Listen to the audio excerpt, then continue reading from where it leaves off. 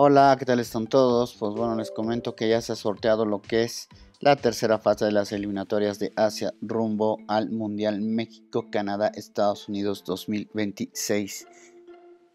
Eh, les recuerdo un poco el formato. Tenemos tres grupos de cada uno de seis equipos. Van a jugar todos contra todos. Y los dos primeros van directamente al Mundial. Luego vamos a tener una cuarta fase y una quinta fase donde eh, los equipos van a buscar el cupo para la repesca. Pero bueno, empezamos entonces. Grupo A, Irán, Qatar, Uzbekistán, Emiratos Árabes Unidos, Kirguis Republic y Corea del Norte. Bueno, ojalá no haya problemas con Corea del Norte. Tal vez Irán, no sé. Pero de este grupo parece cantado que Emiratos Árabes Unidos y Qatar bueno, entre Emiratos Árabes Unidos, Qatar e Irán estarían los dos clasificados, ¿no? Tal vez Uzbekistán, pero Kirguis República, aunque el tema de República de Corea siempre me llama la atención. Siempre están ahí en mujeres, en varones, siempre, siempre están ahí. Es algo que no puedo entender bien.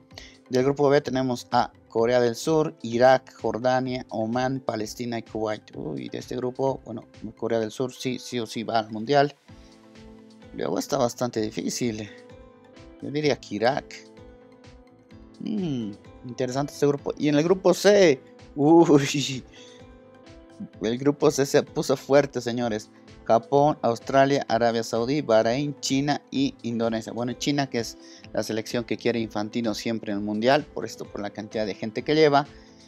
Pero tenemos Arabia Saudí, que ha crecido bastante. Australia, que ustedes saben, aquí está para tener mayor competitividad. Y Japón, que es el favorito, ¿no? O sea, tenemos cuatro equipos, a diferencia del grupo B, donde yo solo identifico a Corea del Sur, digamos, como favorito favorito. Y se ha puesto interesante.